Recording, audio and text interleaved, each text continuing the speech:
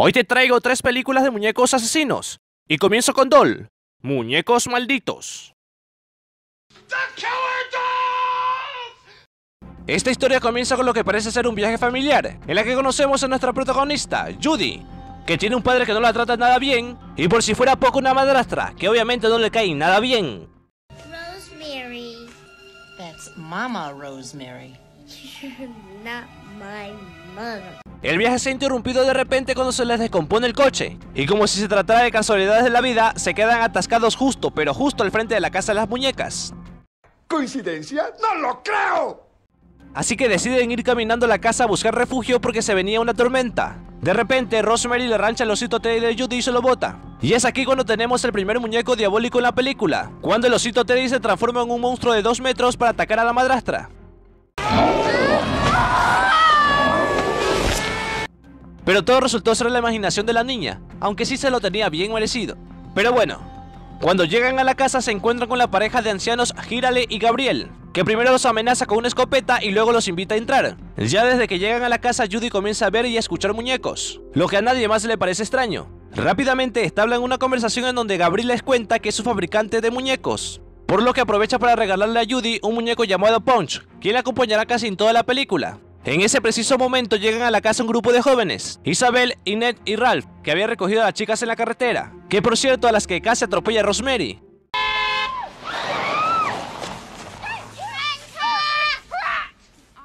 Y así todos terminan refugiándose en la casa debido a la tormenta. Gabriel lleva a Ralph y a Judy a su taller de juguetes para mostrarles sus creaciones. Ahí Ralph le cuenta al anciano sobre su niñez y su relación con los juguetes. Al parecer, este todavía tenía un apego especial con los muñecos. Mientras tanto, una de las chicas que resultaron ser todas unas pillas intenta llevarse algo de la casa, y en ese momento los muñecos se ponen en modo killer y la atacan. Aquí los personajes no solamente se irán muriendo de poco, sino que se irán convirtiendo en muñecos. Judy, que en vez de estar durmiendo, se encuentra con Isabel que es arrastrada por los muñecos.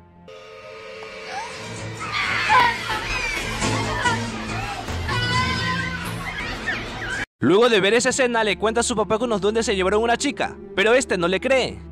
Así que no le queda otra y se lo cuenta al gordito Ralph, que al principio no le cree. Pero luego de darse cuenta que en sus pies hay sangre, se convence y se va a investigar. Durante su investigación los condenados muñecos lo hacen caer. Al principio solo piensa que se tropezó, pero luego se da cuenta que le mordieron los pies. Pero el muy tonto piensa que son los ratones. See? I told you I got bit by that rat. I didn't see any rats, just toys. Ralph busca a Inet para contarle que su amiga había desaparecido, mientras Judy insiste que fueron los muñecos. Pero todo termina en una confusión en la que creen que Ralph es pervertido, porque Inet piensa que abusó de Isabel. Es un viejo pequeño, pervertido y mediocre. Así que David, el padre de Judy, le pide que se aleje de su hija, mientras le obliga a su hija que entre al cuarto. Pero Judy dice que no porque quiere quedarse con Ralph porque es su amigo y no ha hecho nada malo. Eso hace enojar mucho a David y le arrancha Punch, pero Judy sale corriendo. Para que regrese, David le amenaza que le destruirá el muñeco si no viene, pero este en su intento de dañarlo, el muñeco lo muerde y escapa.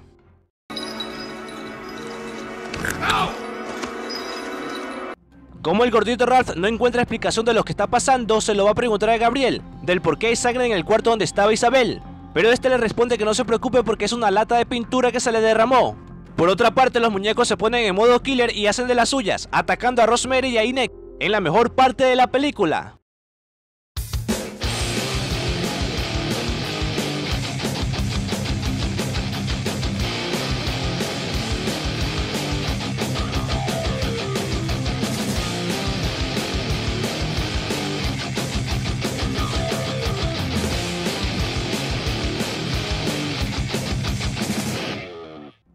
Judy convence al gordito Ralph para que entre al cuarto donde está lleno de muñecos. Pero al entrar, este se asusta cuando se comienzan a mover, así que se pone como loco y comienza a aplastar a todos los muñecos. Lo que hace que el resto de muñecos se enfurezcan y comiencen a atacarlo. Pero Judy le pide desesperadamente que lo dejen en paz. Que por cierto los muñecos no le hacen nada a Judy porque al parecer estos muñecos no atacan a los niños.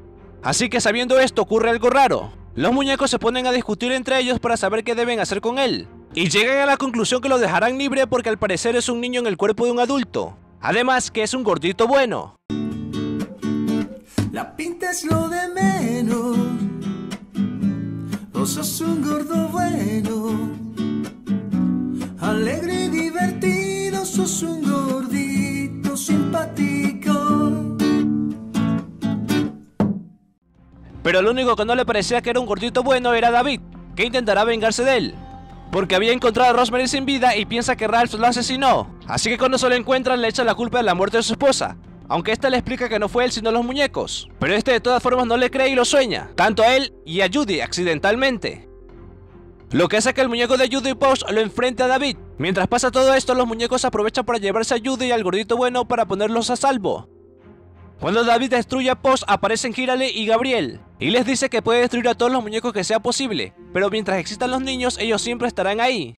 E inexplicablemente, David se comienza a transformar en el señor Pons. Mientras pasa esto, la pareja de ancianos le comenta que creen que la amargura de la gente se puede cambiar en amor si se rinden por la voluntad que los muñecos proporcionan. Si eso pasa, algunas personas logran salvarse. Las que no, como David, tienen que volver a empezar, dando a entender que los muñecos solo atacan a las personas malas para convertirlas en muñecos. Al día siguiente, Judy y Ralph despiertan y este lo primero que dice es... Pero aún así no recuerdan mucho de lo que pasó, así que Judy comienza a preguntar por su papá, y el anciano le lee una carta que supuestamente le había dejado su papá que decía que se irían del país con Rosemary y se cambiarían de nombre para no verla nunca más porque ha sido un mal padre, indicando que se debe quedar con su mamá en Boston pidiendo que Ralph la lleve. Así Ralph y Judy se marchan de la casa, sin antes Girale mencionar que le gustaría que se quedaran con los muñecos, ya que ellos necesitan de niños y de niños de corazón para jugar, mientras Judy sin darse cuenta se despide de su padre. So long, short stuff. Así finalmente Ralph y Judy se marchan camino a Boston. La película termina con dos muy buenas tomas. Una con las imágenes de los personajes convertidos en muñecos y el de la escena final, en donde vemos que un carro se vería justo en el mismo lugar donde se había quedado el de Rosemary, demostrando que lo que sucedió no fue ninguna coincidencia. Quien lo encuentra se lo queda.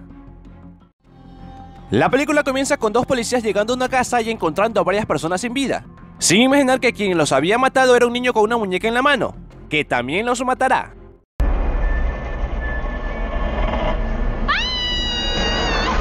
Luego conocemos a nuestros protagonistas, a Allison y a su hija Claire, que como si se tratara de casualidades de la vida, llegan a mudarse a la misma casa de los asesinatos. ¿Coincidencia? ¡No lo creo! La niña al explorar el cuarto se encuentra con una muñeca la cual se llama Lily, que a pesar que su madre le advierte que no debe quedarse con ella porque debe tener el dueño, de todas maneras se la queda. Creo que probablemente le pertenece a otra persona. Si lo encuentras, te lo quedas. ¡Lo dijo! ¡Lo dijo! Pronto comenzarán los problemas cuando Claire va a su nueva escuela y le comienzan a molestar por mudarse a una nueva casa. Ya saben, como pasan las típicas películas de terror cuando alguien se muda a una casa embrujada. ¡Un clásico! Esto hará que comience a tener mucha más interacción con la muñeca, hablándole lo mucho que odia a sus compañeros. Tanto que el día siguiente ya no querrá ir a la escuela y se irá a encerrar a su cuarto. Cuando su madre la va a buscar, la encuentra cantando en el piso y quitándole la sal a las moscas.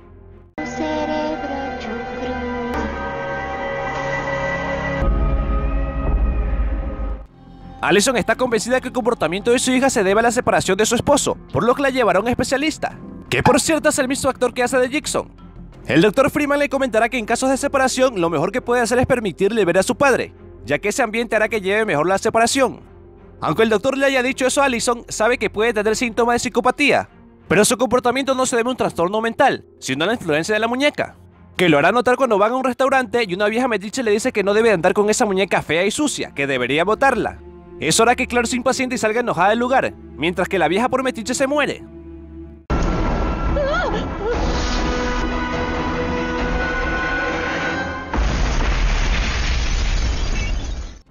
Allison mientras arreglaba el cuarto de Claire, se encontrará con las fotografías de los antiguos dueños de la casa, y se dará cuenta que el niño de la familia tiene en las manos la misma muñeca de su hija. Así que cuando se pone a investigar sobre la familia, descubre que todos fueron asesinados por el niño. ¡Uy, qué horror! Este macabro descubrimiento hará que Allison vaya a buscar al niño al centro mental en donde está encerrado, para hacerle algunas preguntas. Pero hablar con él era prácticamente inútil, ya que no decía nada. Esa actitud la pondrá histérica provocando que la saquen de inmediato del lugar. Después podemos ver a Zachary hablando con Lily diciéndole que ya tenía que escaparse del lugar porque ahora era el turno de Claire. Estoy casi seguro que a partir de aquí es él quien comenzará a ayudar en los asesinatos y quien moverá la muñeca de un lado a otro. Mientras tanto, Claire pasaba el día con su padre tal como le había recomendado el Dr. Freeman. Jonathan llevará a su hija a su departamento en donde conocerá a su actual pareja, que no le caerá para nada bien. Así que Katy para tratar de simpatizarle le regala una muñeca, que Claire no solamente rechazará de mala manera, sino que también la destruirá. Y solo por ese hecho de regalarle una nueva muñeca terminará muerta. Señora, ¿está ahí? Señora.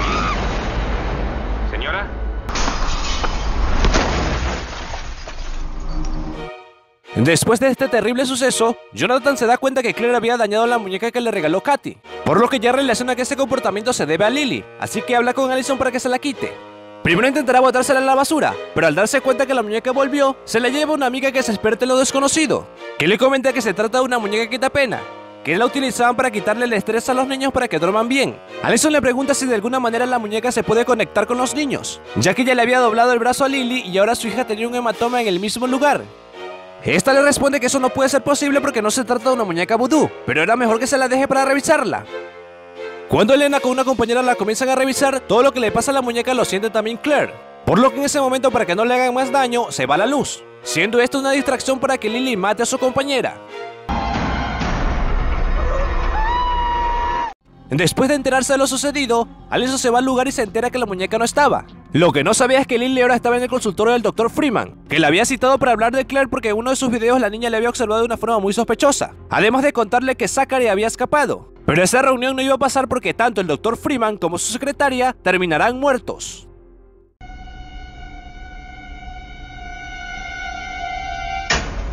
Oh, Dios mío.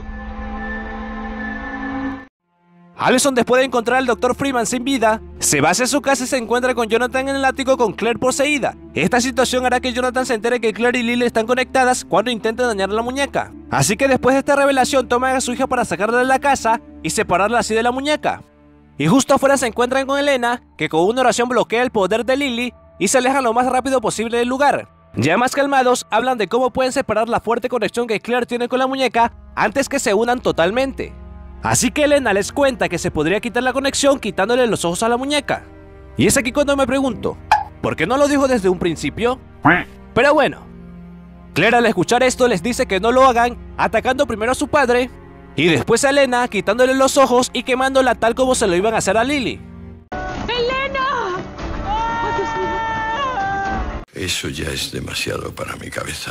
Viendo que la situación ya se les está saliendo de las manos, se van a la casa para buscar a Lily para sacarle de una vez por todos los ojos. Pero Claire se les escapa para encontrar primero a la muñeca. Y es aquí cuando sucede algo sospechosamente muy similar a lo que pasa en la película del exorcista. Cuando encuentran a Claire y gira su cabeza tal como lo hace Regan. Eso es una copia, Don Jumpy. Deliberada. Y es así como Jonathan y Allison luchan contra Lily para salvar a su hija en la mejor parte de la película.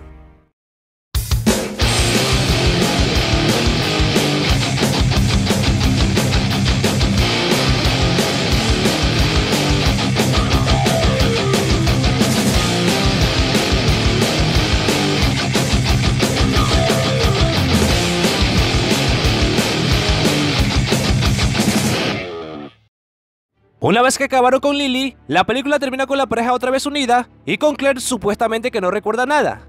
Y digo supuestamente porque en la escena final vemos como Claire canta la canción de Lily luego de ver a Zachary por la carretera. Y por último tenemos a Dolly, la muñeca asesina. La película comienza con lo que parece ser una excavación arqueológica, en donde vemos a un arqueólogo intentar abrir una gran puerta de piedra, que sin querer liberará a un demonio que coincidentemente llega a la fábrica de muñecas que está justamente al lado de las ruinas. ¿Coincidencia? ¡No lo creo! Luego de esto conocemos a nuestros protagonistas, la familia Wet, que llega a mudarse a una pequeña ciudad de México con la intención de reactivar la fábrica de muñecas. De inmediato, Elliot, el padre de familia, va a visitar las instalaciones de su nueva empresa, en donde su pequeña hija Jessica se encuentra con las muñecas que ahí se fabrican, por lo que se enamora rápidamente de una de ellas y le pide a su padre que le regale una, que la verdad no le veo mucho sentido porque igual todas son iguales. La misma tonta Baby Malibu con un sombrero distinto. Sigue teniendo todos los horrendos estereotipos de antes. Pero el sombrero es nuevo. Ya Dolly siendo la muñeca de Jessica comenzará a conectarse con la niña, porque vemos que de alguna manera siente lo que le pasa a Dolly, ya que la vemos que se comienza a inquietar y a gritar cuando un sacerdote bendice su casa, cuando aún está muy lejos. Pero esto no va a ser lo único religioso que ella rechace, sino que también lo hace con su empleada Camila, que al verle un crucifijo en la mano esta la empuja y por si fuera poco también le habla en un lenguaje extraño. Pero Camila más que molestarse por lo que le había hecho la niña, se asusta por el lenguaje que le había dicho Jessica.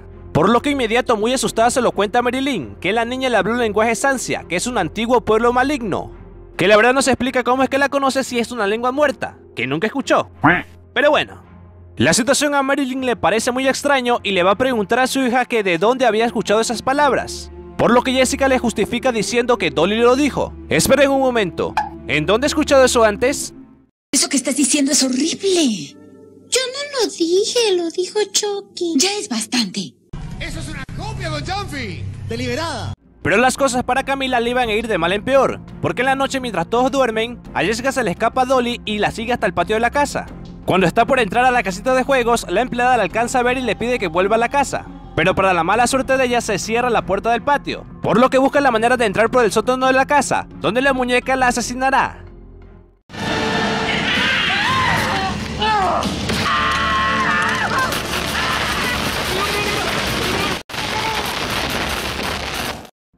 Por su parte, Jimmy se muestra muy interesado en saber qué esconde las minas y junto a Carl descubre una tumba sancia. Lo hará que la curiosidad de Jimmy crezca aún más, investigando más sobre los ansias y yendo constantemente a las excavaciones. Pero la muñeca de Jessica no es la única muñeca asesina en la película, porque las demás que están en la fábrica también hacen de las suyas y asesinan a uno de los empleados.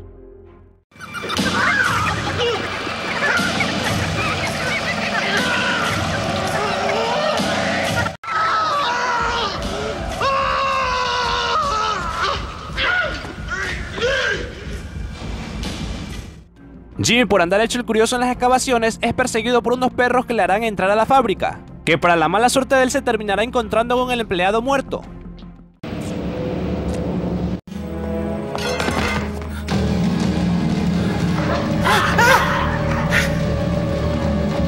El padre, en vez de tranquilizarlo por el trauma que le pudo haber ocasionado encontrarse con una persona muerta, le terminará prohibiendo estar investigando todo sobre el tema de los ansias. A pesar que Jimmy le cuenta sobre un pequeño demonio y todas las cosas tétricas que ellos hacían, a la única que le interesa el tema es a su madre quien ya comienza a sospechar de la muñeca, por lo que irá al cuarto de Jessica a intentarle quitar a Dolly, pero la niña se niega amenazándola con una voz endemoniada. Te mataré. Te mataré si tratas de separarnos. Me gusta esa voz. Cuando llega su padre Elliot, la niña poseída se hace la víctima y le pide que no la separen nunca de la muñeca. Por su parte, Marilyn le muestra la preocupación que tiene por su hija y le dice que su comportamiento tiene que ver con los ansias, ya que la empleada le había dicho que Jessica le habló en una lengua antigua, pero parece que a Elio le preocupa más no perder la fábrica que la situación de su hija. Uy, qué mal.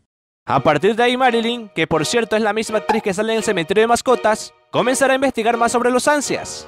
Por lo que irá a visitar al arqueólogo Carr, que le cuenta que en ese lugar están buscando los restos del niño diablo que tenía el cuerpo de niño y la cabeza de cabra, que a pesar de estarlo buscando se muestra muy escéptico y piensa que todo eso no es cierto. Después se va a buscar en un convento a la hermana de Camila que era religiosa. Ahí ella le dice que su hermana le trató de advertirle del mal de la casa, pero no le hicieron caso, y que ya era muy tarde para ayudar a Jessica. Además de comentarle que aquel niño demonio solo busca a los niños y hará cualquier cosa para llevar sus palabras a los niños, que no habrá final para su reino del terror. Después de ese encuentro, Marilyn va rápidamente a su casa a buscar a Jessica para quitarle la muñeca, pero en ese preciso momento Dolly se revela en la parte más perturbadora de la película.